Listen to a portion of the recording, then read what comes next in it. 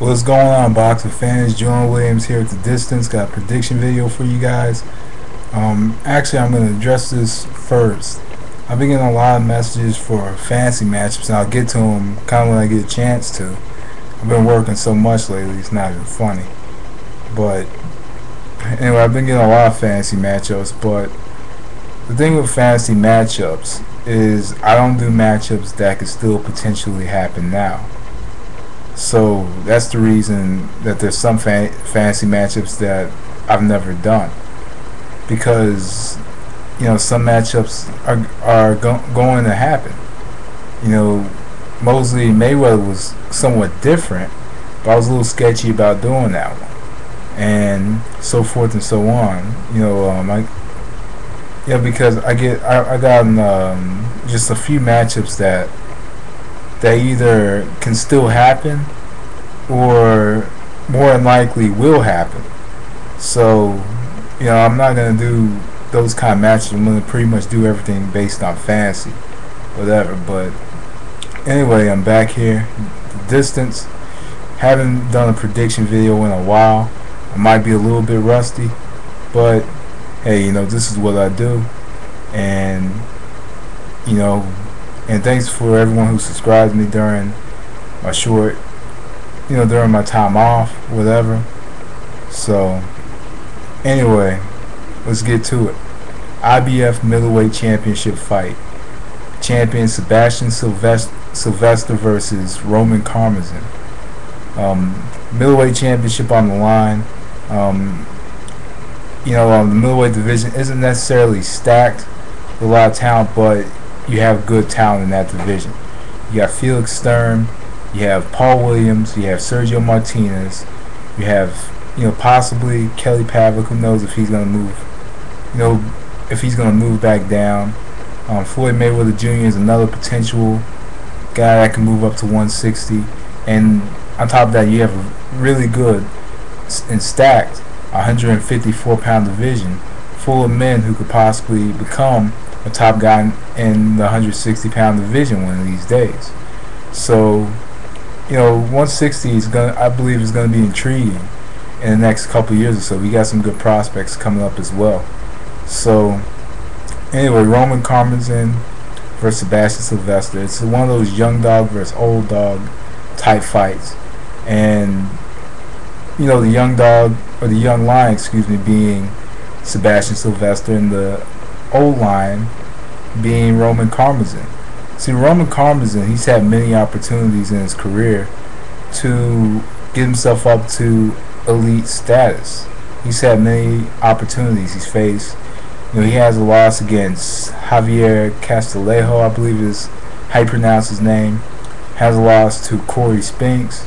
You know, on his first defense after he defeated Kassim Ouma for the IBF Light Middleweight Championship in like 2005. First defense loss to Corey Spinks, and you know just has some, I think just had some devastating losses in his career. I think Castillejo, Castillejo, I believe is how you pronounce it. I said that again. You know that was a that was a pretty bad loss. Spinks pretty bad loss. The fight, the infamous crying fight, of course. You know, it was pretty pretty bad loss, and he actually ended up getting knocked the fuck out by practically an unknown fighter. Really, got knocked the fuck out against him a couple years ago, and you know he he had a victory over Dionisio Miranda back in January on the first episode of Friday Night Fights. He looked pretty good in the showing, but but at the same time, you have to really wonder with Roman Karmazin can you know his current trainer Freddie Roach what can he do to help him win this fight? But with Roman Karmazin he's a good he's a pretty solid fighter. He's a solid fighter. I like I like how he I like how he uses his jab to set up his hook combinations. But at times he leads in with hooks. But I think in the 160 pound division I do believe that Roman Karmazin throws some of the best hook combinations. You know, he can throw, and those hook combinations are so short and crisp, and and sometimes and sometimes very accurate. And I like how he how he sets up his hook, and sometimes he doesn't set up the hook. In this specific fight against Sylvester, I don't think that Karmazin needs to stand in front of Sebastian Sylvester because Sylvester has that tight guard and he swings for the fences at times. In this specific fight, Roman Karmazin has to time Sylvester and time him well with hooks. Time him with the, I'd say the, he predominantly uses the left to set up, to set up the roundhouse right at times. Time him with the right hand. And also move around a lot. I think, but the problem with, with Karmazin is Karmazin at times stands in front of his opponents. In this specific fight, he has to fight the same way he fought Dionisio Miranda. He has to pretty much stand there. He has to use his jab and utilize it to the best of his advantage. Utilize the jab, set the hook, um, and use the jab to create space in this specific fight.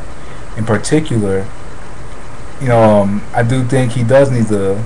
I think he does need to throw a few hooks and sneak some hooks in. And also, Roman Karmazin does a good job of sneaking in the left uppercut. And the question is, will that left uppercut be there with the defense of Sebastian Sylvester? Will his hook be there with kind of that tight guard of Sebastian Sylvester? And in this specific fight, I think that timing is the key for Roman Karmazin to win the fight. I think timing is that main weapon because when sometimes when Sylvester throws, he throws a little too wide he'll throw too wide and he exposes himself. He exposes himself to a counter to a counter hook most of the time. So really countering and countering effectively can win Roman Karmazin in the fight. Sebastian Sylvester is taking on Amin Asikainen, um, lost and won against him. Beat Giovanni Lorenzo to be the IBF middleweight champion and you know has lost earlier in his career to Felix Sturm, and he fought somebody I can't somebody else I can't think of at the top of my head at the moment, but I'll probably know after this video. But in this specific fight, Sebastian Sylvester really has to cut off the ring against Roman Karmazin. I think if he cuts off the ring and takes the offense away from Karmazin, I think he can confuse him. I think he has to. I think that that Sylvester has to set him up using the jab, and has to set and kind of try to use the jab to and use the legs to cut off the ring. See, when Sylvester moves side to side, when he moves laterally, you kind of see short steps. I think that he needs to use the jab and take wide, much wider steps, and back Karmazin into the ropes because if you back Karmazin into the ropes, and cut him off, he doesn't really do anything. So if he can, and also it takes his offense away, and also go to the body. I think he does need to go to the body. With Karmazin being 37, I believe 37 years old, 37, 38 years old, I do think he needs to go to the body, try his best to take the legs away because, you know, your legs at 38 is not the same as your legs at 30 years old. You know, and and with some boxers they say the first thing that goes out are the legs.